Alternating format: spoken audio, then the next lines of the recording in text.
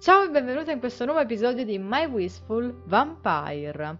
Nello scorso episodio abbiamo finalmente fatto pace con Sara, cioè le cose adesso sembrano andare bene con lei, voglio proprio vedere quanto dureranno. E il professor Jones ha cominciato a parlare a quanto pare dei Templari, quindi io spero che riusciremo ad approfondire l'argomento, quindi cominciamo subito questo nuovo episodio. Ho informato Peter tramite sms che oggi Sara mi avrebbe riaccompagnata a casa. Potrà restare con Dorothy. Gelosia, portami via. Cosa? Sto esagerando? Ho passato una giornata perfetta con Sara. Non riesco più ad essere arrabbiata per il suo comportamento passato. È divertente, gentile e premurosa. Mi fa bene passare del tempo con qualcuno raggiante come lei. La sua presenza mi rassicura la prima. Sara è radiosa, è una donna forte e determinata. Mi piace averla vicina, so che assieme possiamo affrontare ogni cosa. Passeggiamo per un po', mi sento spensierata per la prima volta dopo tanto tempo. Mi sento una ragazza normale che torna a casa dopo le lezioni, in compagnia della sua migliore amica. E mentre... che ci fa lei qui? Mi sento leggera come una piuma, ci ritroviamo faccia a faccia con Lori. Ma com'è possibile? Anche la bambina sembra di ritorno da scuola. Spalanca gli occhi, sorpresa di vederci. Oddio, adesso cosa accadrà? Già mi sto preoccupando. Ah, è contenta? Davina! Vabbè, io mi fermo, in questo gioco è adorabile. So per certo che, anche se vorrei rimanere da sola con Sara, la bambina non cederà. Mi seguirà fino in capo al mondo. Quindi... Corre come un demonietto dritta verso di me. Si aggrappa alla mia gamba con una forza ben superiore a quella di una normale bambina della sua età. E perché non ha nulla di normale lei? Faccio una smorfia. Addio normalità. Addio innocenza. Che fai qui? È la prima volta che ci incontriamo mentre torno da scuola. Mi sorride con quella malizia che conosco bene, poi si volta verso Sara. E chi è lei? La bambina fa una smorfia sdegnosa e si porta le braccia al petto, visibilmente infastidita di vedermi in compagnia. Ma che fa Lori? È gelosa? Delle nostre amicizie, seriamente. Eh sì, Lori, non sei l'unica persona del mondo. Sara sembra parecchio a disagio, eh, ce credo, lei i vampiri non li sopporta. Io preferisco essere gentile. Lori, che bello vederti. Ti presento Sara, la mia migliore amica. Perché hai bisogno di un'amica quando hai me? Ma dai! Ma come? Partiamo male, malissimo. Sicuramente anche tu avrai tanti amici a scuola. Eh, qualcosa mi dice che la risposta invece è no. No, non mi piacciono gli altri. Sono stupidi. Non vogliono mai giocare ai miei giochi. E ce credo che non ci vogliono giocare. Chissà che giochi gli propini tu.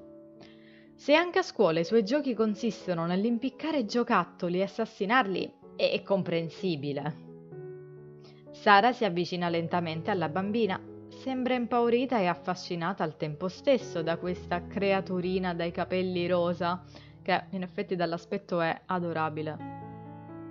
Buongiorno Lori, piacere di conoscerti. Mo adesso lei gli risponde male. Già me lo immagino.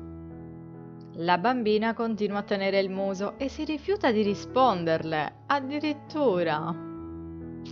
Io le dico di rispondere, l'educazione prima di tutto nella vita. Lori, quando un adulto ti parla, non è educato non rispondere. Perché non ti presenti? Perché dovrei... Come? Lori! Va bene. Ciao, sono Lori Bertoli. Piacere, bla bla bla. ma che presentazione di M questa? Ma cos'è?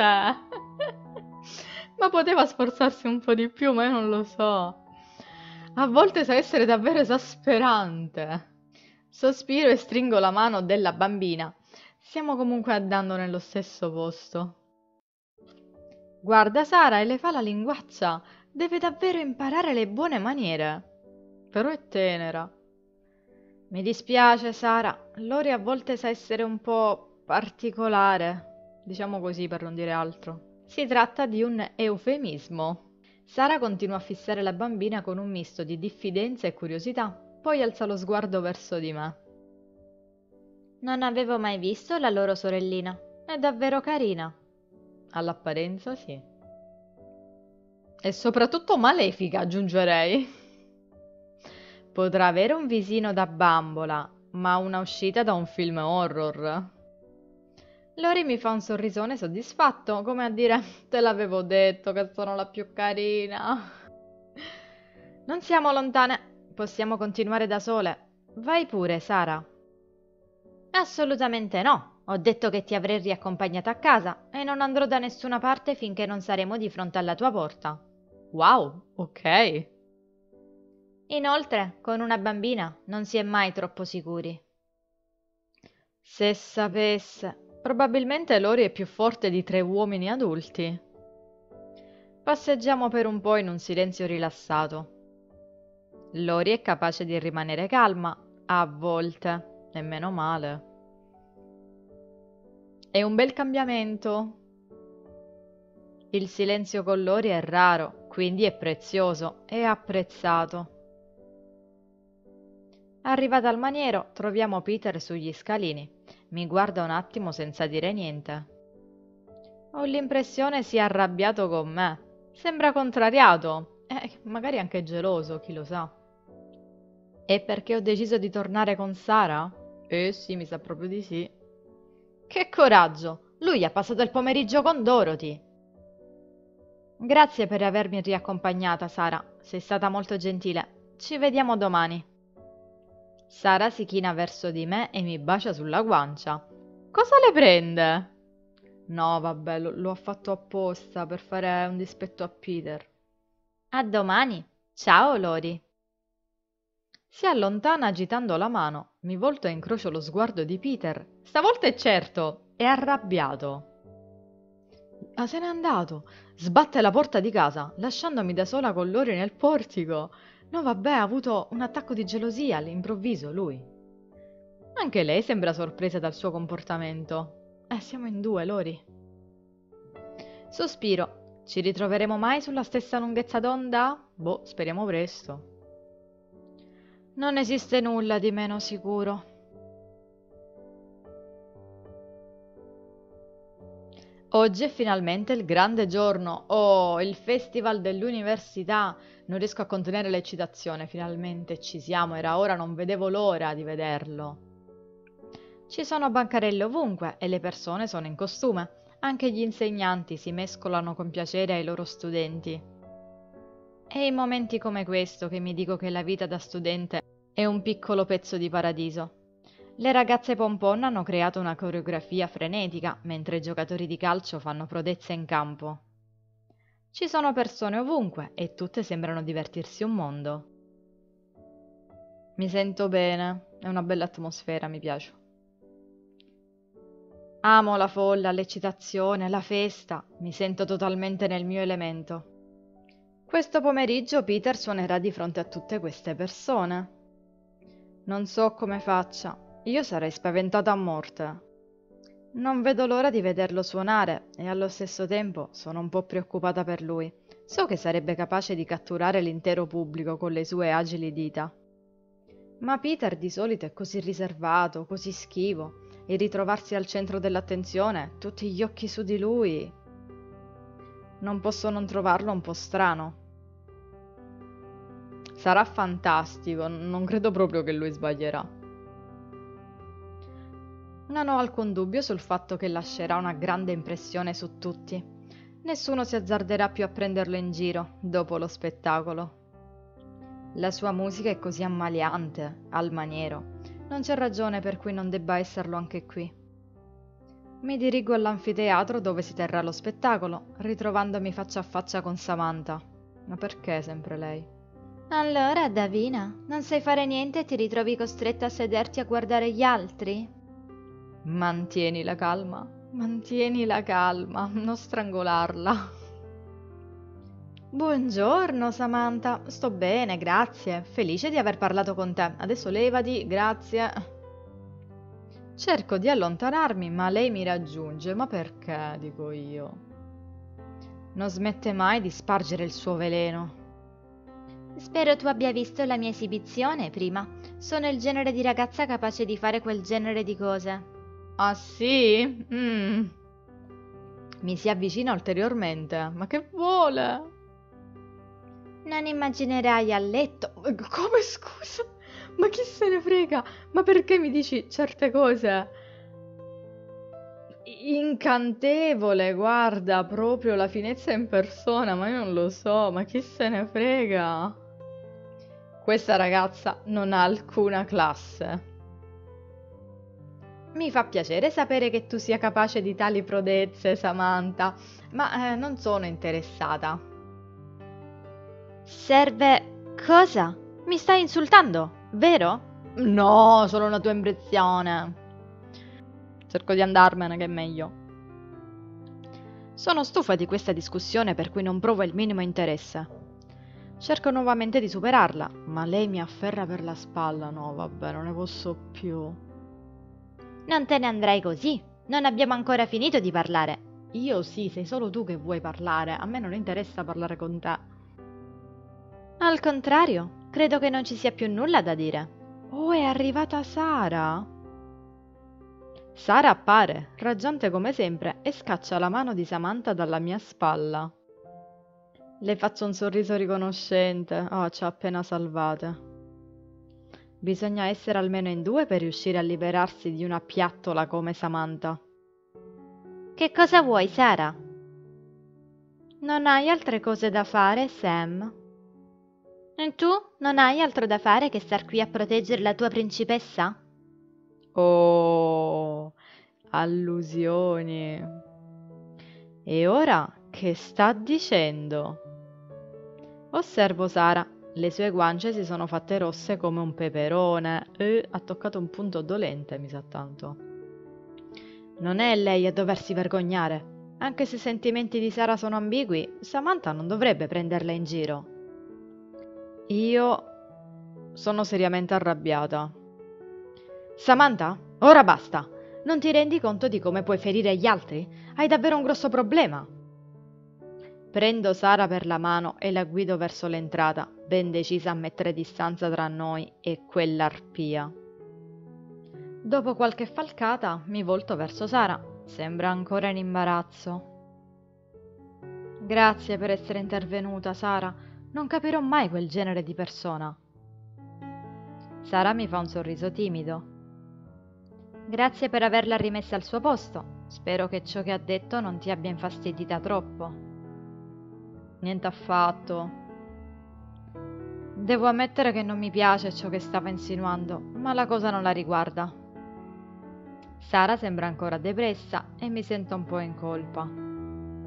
Stavo venendo a cercarti perché presto inizierà il mio spettacolo di danza. Verrai a vedere? Certo!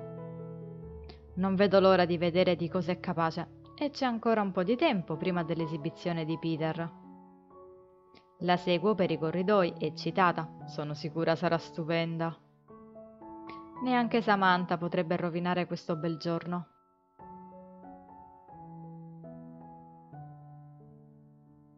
Mi avvicino al palco felice. Non vedo l'ora di vedere la mia amica ballare. Mi siedo in prima fila, impaziente di vedere l'inizio dello spettacolo. Fino a qualche giorno fa neanche sapevo che Sara sapesse ballare Sembra eccellere in ogni sport. Um, io un po' la invidio. Anch'io vorrei essere brava in qualcosa, ma sembra non abbia ancora trovato la mia strada. Le luci si spengono gradualmente e la musica comincia a riempire la stanza. È musica rock, allegra e dinamica, che si adatta alla perfezione a Sara. La ragazza appare sul palco, bellissima nei suoi pantaloncini. Ha delle gambe da capogiro. L'intera sala applaude, gli studenti gridano il suo nome. Dimentico sempre quanto sia popolare. A volte mi domando che ci faccia al mio fianco. Inizia la sua coreografia. I suoi movimenti sono agili, veloci e aggraziati. Sembra controllare alla perfezione ogni muscolo del suo corpo, con una facilità impressionante. La musica rallenta un po' e si fa più sexy. Lei mi vede e mi strizza l'occhio. Le rispondo. Le faccio un sorrisone e le restituisco l'occhiolino. Lo spettacolo è così sensuale e al contempo energico che rimango senza fiato. È davvero sublime. È come se fosse nata per stare là sopra, sotto i riflettori, di fronte allo sguardo invidioso degli spettatori. Sembra una vera diva. Eh, balla molto bene. Si può dire che sappia ballare davvero bene, sono certa spezzerà qualche cuore stasera. Esegue le acrobazie con flessibilità, sono davvero sorpresa dal suo talento. Il pubblico è in delirio, mentre alcuni iniziano a gridare e fischiare. Mi metto a fare lo stesso, contagiata dal loro entusiasmo. Peccato che non possiamo vedere lo spettacolo. Sara riceve tutta l'energia positiva che emerge dal pubblico e il suo sorriso si allarga. Presto un gruppo di ballerine la raggiunge e lo spettacolo prende un'altra dimensione. Vorrei quasi raggiungerle sul palco e ballare con loro, le mie gambe tremano dall'eccitazione. Non sapevo che Mystery Spill nascondesse tanti talenti. Che città colma di misteri. Dimentico per un istante tutte le mie preoccupazioni quotidiane, felice di trovarmi qui. Eh, ci voleva proprio questo momento. La musica si ferma e le luci della sala vengono riaccese. Le ballerine salutano il pubblico. Sara mi fa un gesto con la mano. Le rispondo con entusiasmo, sollevando un pollice per farle capire quanto mi sia piaciuta. Sussulto quando noto sulla sedia accanto alla mia un fantasma. Ma come? Anche qui, anche adesso? Si tratta di una vecchia signora in un vestito da sera degli anni 50. Anche lei applaude, osservando il palco. Ok, che scena particolare. Immagino che anche lei si stia godendo la magia dello spettacolo anche se non si tratta di quello a cui ho appena assistito. Vabbè, la prima, stranamente lo trovo toccante, non mi fa paura. Questo fantasma pacifico, che sembra essere bloccato per sempre in questo momento di gioia, mi commuove. Sembra felice. Sara abbandona il palco e io rimango lì a osservare la mia strana vicina. Ok, ci prenderanno per pazza, non se ne accorgerà nessuno. Mi ci vuole un bel po' per rendermi conto che la persona seduta accanto a me mi sta osservando, confusa. Penserà di essere lei quella che sto fissando a bocca aperta. Oh, che situazione! Cavolo, passerò nuovamente per una pazza. E vabbè, prima o poi ci faremo l'abitudine, mi sa. Stai bene, Davina? Sembri un po' confusa. Va tutto bene, Sara. Lo spettacolo è stato stupendo. Non riesco a credere che tu sia capace di Insomma, wow! Lei arrossisce, felice per il complimento. Le sorrido radiosa, non dimenticherò mai quei passi di danza. Mi avvicino per sussurrarle ad un orecchio. È solo che c'è un fantasma nella sedia accanto alla mia. Lei sussulta, visibilmente sorpresa, e fissa con curiosità il sedile in questione. Ovviamente lei non vede nulla. Non preoccuparti, non è aggressivo. Diciamo che, oltre agli studenti, hai avuto una spettatrice dall'aldilà. Così. Sono l'unica a ridere della mia pessima battuta. Sara sembra ancora preoccupata. Sei sicura di stare bene? L'ultima volta che hai visto un frammento d'anima... Eh sì, siamo finiti all'ospedale già. Le rassicuro? Te lo giuro, va tutto bene. L'ultima volta è stato completamente diverso. Lei annuisce, ma continua a sembrare preoccupata. I fantasmi spaventano le persone che non possono vederli, proprio perché simbolizzano l'ignoto. Io ho finito per abituarmici. In lontananza, di nuovo, noto Samantha fissarla con gelosia. Eh sì, povera idiota, non sei l'unica a sapersi muovere. Un po' di umiltà non le farebbe male. Mi volto verso Sara, un po' a disagio. Non so se posso chiederle di restare con me per il concerto di Peter. No, non credo la prenderà bene. Provo a chiederglielo e vediamo come va? So che potrebbe essere un po' complicato, ma ti andrebbe di restare con me per ascoltare Peter suonare? Non t'arrabbiare. Lei sembra sorpresa dalla mia richiesta. Una piccola smorfia appare sul suo bel viso abbronzato, ovviamente le dà fastidio. Devo rifiutare. L'ascia di guerra non è ancora stata seppellita tra noi due. Eh, lo sapevo. Beh, almeno ci ho provato. Eh, l'importante è provarci nella vita. Allora ci ritroviamo dopo? Sì, dopo ti mando un messaggio. Ok, a dopo Davina. Grazie per essere venuta. Le faccio un gran sorriso mentre la osservo allontanarsi a passo leggero. Io invece aspetto che venga sistemato il pianoforte. Vedo arrivare Dorothy. Si siede a qualche posto da me, tra le prime file. E ok, allora io mi fermo qui anche con questo episodio. Fatemi sapere ovviamente come sempre cosa ne pensate giù nei commenti, se questo episodio vi è piaciuto mi raccomando lasciatemi un like, se non siete iscritti vi ricordo di farlo così non vi perderete i prossimi video e noi ci vediamo in un prossimo gioco. Ciao!